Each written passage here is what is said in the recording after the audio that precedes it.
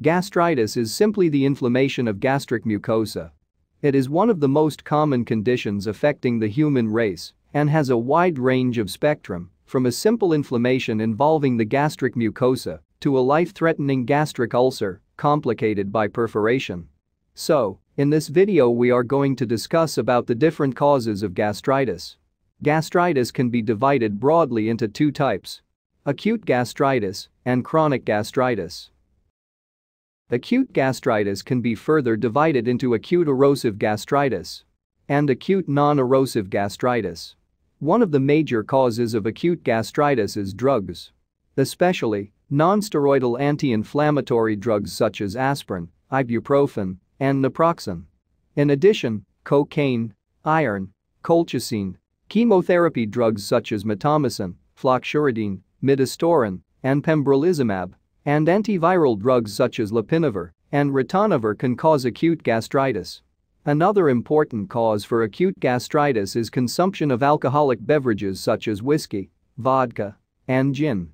Bacterial infection with Helicobacter pylori bacterium is the commonest cause for gastritis worldwide.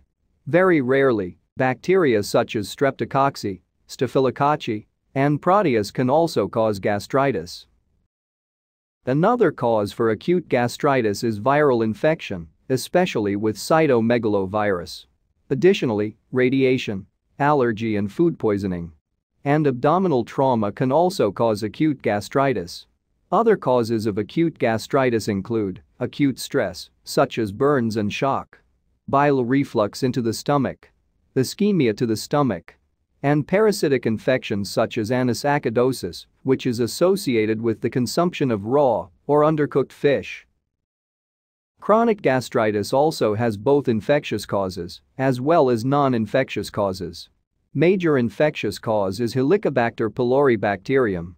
Additional infectious causes include granulomatous gastritis, which is associated with Mycobacterium tuberculosis, and Treponema pallidum, which causes syphilis. Parasitic infections, especially with Strongyloides species. And infection with cytomegalovirus. Non-infectious causes of chronic gastritis include autoimmune gastritis, where antibodies are formed against a person's own stomach tissue. Chemical gastropathy, which is associated with long-term use of non-steroidal anti-inflammatory drugs, and chronic bile reflux.